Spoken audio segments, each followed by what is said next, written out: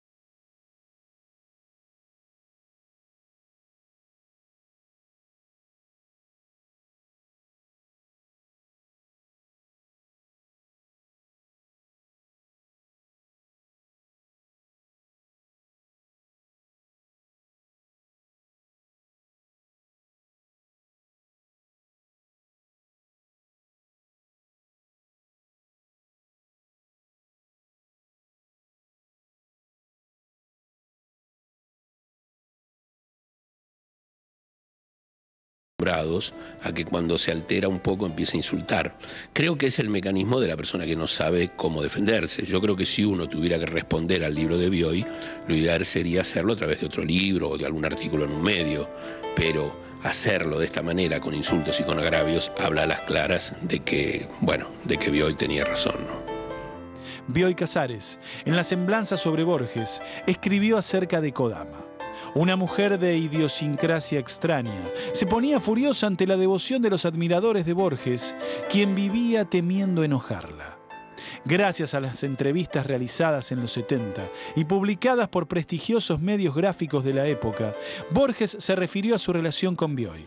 Allí recordaba la colección de enigmas policiales del séptimo círculo, una creación de ambos autores. Borges expresó que Bioy, a pesar de ser menor que él, había sido un maestro. Ante las afirmaciones de Kodama, la Sociedad Argentina de Escritores decidió realizar un importante acto de desagravio. Para los dos grandes amigos, grandes maestros, es necesario. Sobre este tema estamos en vivo en la Sociedad Argentina de Escritores. Luis Grimaldi. Y con la gentileza del presidente de la Sociedad Argentina de Escritores, el señor Alejandro Bacaro, que también yo le pregunté hace un ratito si esto tenía que hacerse, porque ellos se vieron obligados ante el daño que se le estaba provocando a estos dos amigos. Por eso decidieron hacer esta conferencia. Sí, yo creo que es un deber que tenemos como miembros de la Sociedad Argentina de Escritores de defender a nuestros socios. Bioy Casares fue un hombre que tuvo una activa participación dentro de, de la Casa de los Escritores y bueno, y además es uno de los grandes escritores de nuestra literatura, un hombre reconocido a nivel internacional, eh, obtuvo el premio Cervantes, que es el más importante de nuestra lengua. Así que consideramos que es una obligación, un deber nuestra reivindicar la figura de Bioy Casares. La palabra desecho humano, ¿no es una palabra muy violenta? Es una palabra muy violenta, sin duda, es un insulto, es un agravio, es una denostación, pero nosotros queremos transformar este hecho negativo del agravio en un hecho positivo, que es resaltar la figura de este gran escritor que fue Adolfo Bioy Casares, pero que además fue una excelente persona, un hombre de bien, una persona que consagró también su vida a la literatura igual que Borges y que nos eh, representó muy bien en el mundo.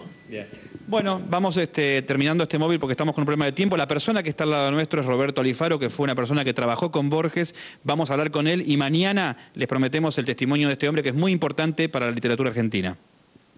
Muchísimas gracias.